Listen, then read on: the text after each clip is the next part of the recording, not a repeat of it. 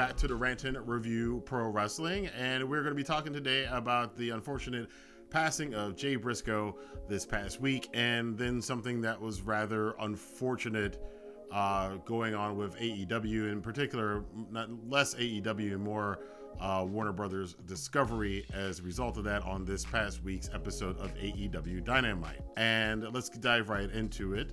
Um, of course, many of you know, and pretty much anybody who's watching this video obviously knows that Jay Briscoe, uh, celebrated tag team wrestler, celebrated wrestler in general, two-time former Ring of Honor World Champion. I think they, him and his brother held the Ring of Honor tag titles 13 times. They've had tremendous matches over the years. Of course, most recently, their series with FTR over the Ring of Honor Tag Team Championships in the revitalized new version of Ring of Honor uh, last year was probably one of the best tag team rivalries of the last five to 10 years. Uh, unfortunately, he did pass away earlier this week in a car accident in Delaware. And uh, him and other passengers in that uh, car crash did pass away. Obviously, uh, this being a wrestling channel, we are going to talk about Jay Briscoe. And, you know, the guy, as we saw on Twitter, as we saw on social media, a lot of people in the industry really appreciated the guy. A lot of fans appreciated the guy. Had a lot of wonderful things to say about him uh, as a result of his passing. And this is one of those times where, fortunately, you even see WWE people. It was mentioned on NXT on Tuesday night when it happened. Uh, they did mention it and pay tribute to Jay. Uh, AEW did on Dynamite as well.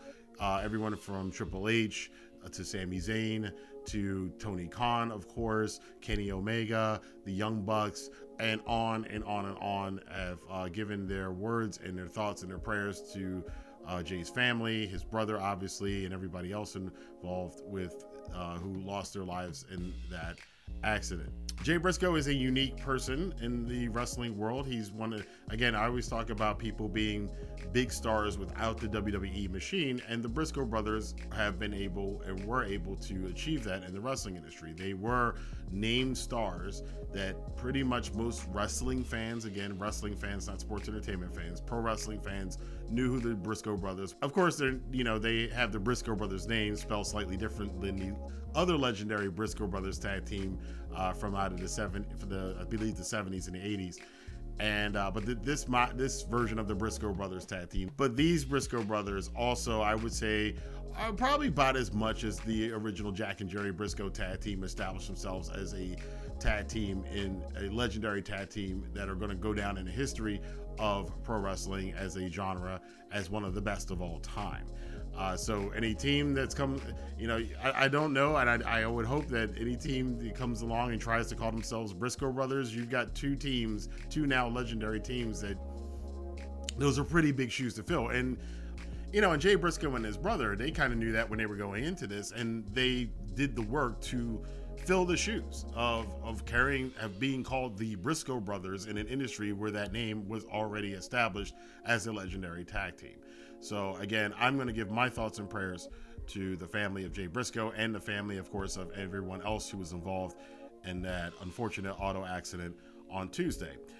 Uh, the other side of this that's uh, not as sad, but is just kind of irritating is the decision by Warner Brothers Discovery to block All Elite Wrestling from doing any kind of a pro- profound tribute to Jay Briscoe on AEW Dynamite. Now, the reason for that is because back in 2013, Jay Briscoe on social media had some rather I mean, th- these aren't politically incorrect. They were just straight up, just terrible comments about the LGBTQIA plus community. Um, now, to be, and it was just, it was several posts he made that were not good at all. Let's not sugarcoat it. They were pretty bad. Since that time, over the last really nine to 10 years, since again, that was 10 years ago, he has apologized. He and his brother have talked about it at nauseum and apology after apology, explaining their position. And anybody who's seen that part of it knows very full well that Jay's attitude, his tune has changed. He thought he was, you know, he was a Christian man. He thought he was defending his religion, um, but he also, as as sometimes happens with a lot of people who are in these ideologies and groups, you kind of forget the basic tenet of your group because there's a supposedly opposition group to it. But as he and his brother pointed out, Christians, as Christians, as Christ did, he loved everybody. So there was no reason for the hate towards a community of people because the ideology they're following teaches them to love their neighbor. So Jay did come around on that and did grow and did change and did understand where he was wrong with the comments he made in 2013. And this is where we get into things, and I'm going to get a little political about this. I do apologize. I try to stay away from this stuff on the channel because uh, you guys don't need to be swayed. And I don't want to sway anybody with my own political belief system. Uh, you guys make up your minds for yourselves. I say that about wrestling. I certainly would want you to do that with uh, things like social issues and politics. But I, uh, for many of you probably know and probably can tell that I'm pretty much an independent. I'm not left wing, right wing, Democrat, Republican, any of that stuff. I'm more what I call just common sense. I don't ascribe to any gang or ideology. Um, there, there are good points and bad points about all of them. But I think that this current stuff with the wokeism nonsense has gotten out of control, and this is clearly what's going on with this W uh, WBD Warner Brothers Discovery decision. They did not want the Briscoes on in AEW. It's part of the reason why they were never brought into AEW.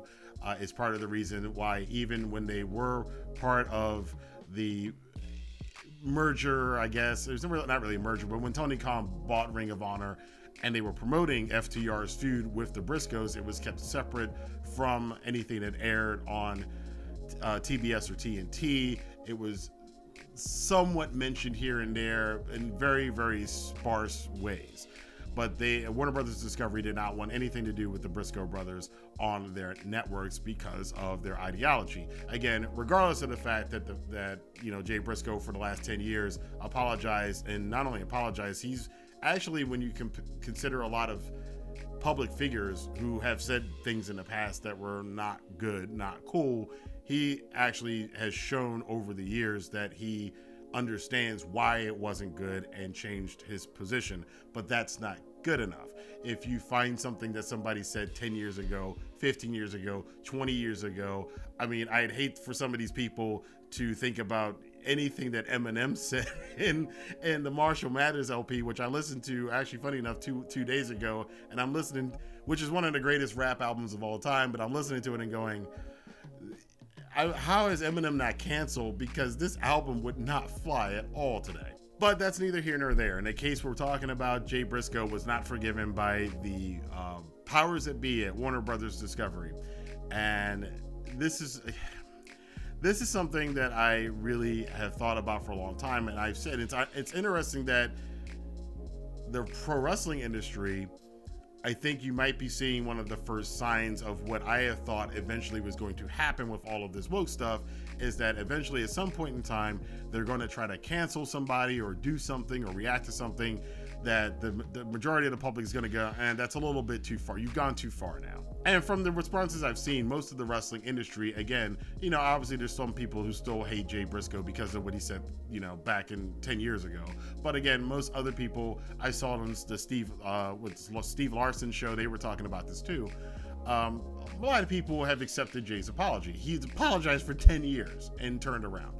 Uh, they accept it and to point out what they what uh, Steve Larson said. They they said the same thing that I was thinking when I heard about it. It's like yeah, but isn't that what you would want to show? Somebody did say something very heinous 10 years ago and they turned it around and they're less hateful than they were 10 years ago. And, you know, to the fact that the Briscoe said that they don't hate anybody, everybody, they were misguided in what they thought they were doing as far as defending and standing up for things, and they changed their tune. That's what you would want to show that you can change your tune and not have such hateful things or hateful ideas for other groups of people or people who are in this ideology or in that group or this group over here or that group over there. The irony of this, though, is that Warner Brothers Discovery, in doing this, shows that they actually don't have that. You know, the Briscoe brothers were country boys from Delaware, chicken farmers. You know, they were, you know, I think people would consider them white trash. And to be quite honest about it, and they they lived it up. They loved they they are were who they were. And there's nothing wrong with being who the Briscoe brothers were or anybody, any of the 30, 40, 50 million people in the country who are like the Briscoe brothers. There's nothing wrong with being country boys and doing that kind of stuff. There is something wrong with hating other groups of people. But here now, again, like I said, you're seeing Warner Brothers Discovery because they are those kind of characters. We don't want anything to do with them. And they said something bad, so they are ostracized forever despite what they do it's the the irony there is it's uh, it's well it's obvious to you guys out there the irony. And yeah you know if this offends some of you out there i know this is going to offend some people because there are a lot of people out there who live and die and breathe by wokeism or their ideology or being whatever it is that you think you're doing. Um, i personally don't like wokeism because i'm a civil rights guy. My family i grew up learning about the civil rights movement. My family was involved in a lot of stuff. So i know what the civil rights movement was.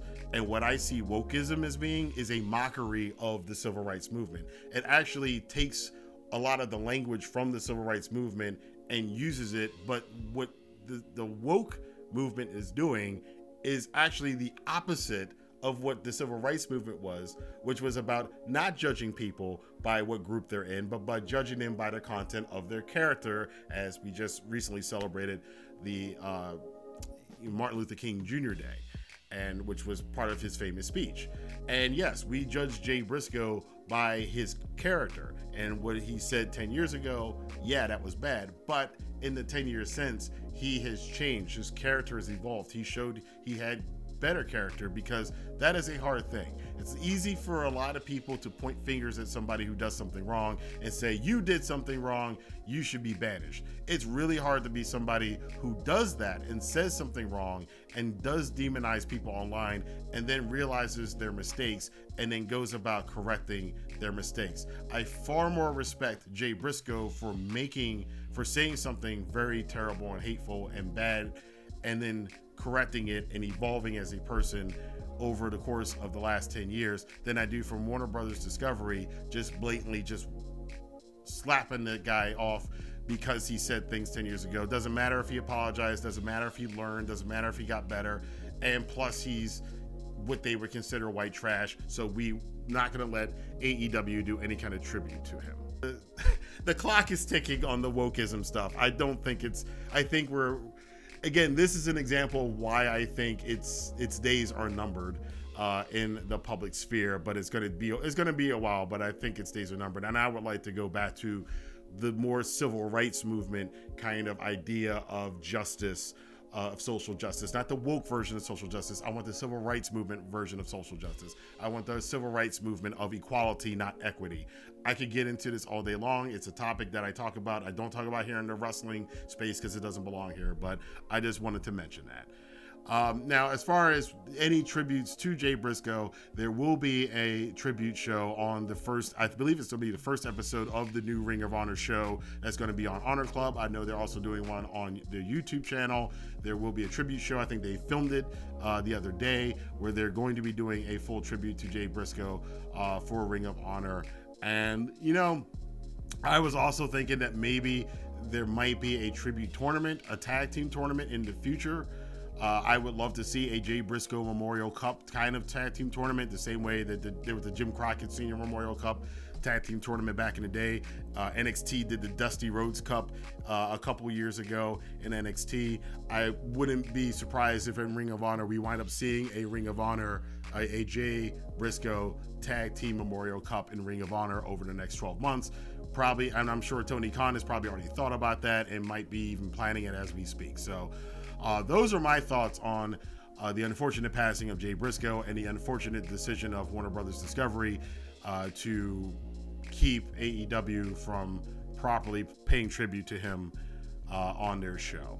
And that's just the way it is. If you can't, and I'm just going to end with this again if you can only look at somebody's mistakes or the things that they do wrong and hold them to that for their entire life, even into their death, and you're going to ignore everything that they did positive and even in correcting things that they know that they were wrong about what are we doing here? What is the point of your ideology of your moral stance if you can't accept people getting better because that's what we want? Or is it what you want? Is that what you want for people to get better? Or is it what you really want to be able to point at people and make yourself look virtuous by condemning other people, regardless of whether or not they are better or correct their mistakes? I'll let you guys decide that. Let your voice be heard in the comment box below. Until next time, I will see you guys here for more news, rumors, and commentary on the Rantin Review Pro Wrestling. Have a good day.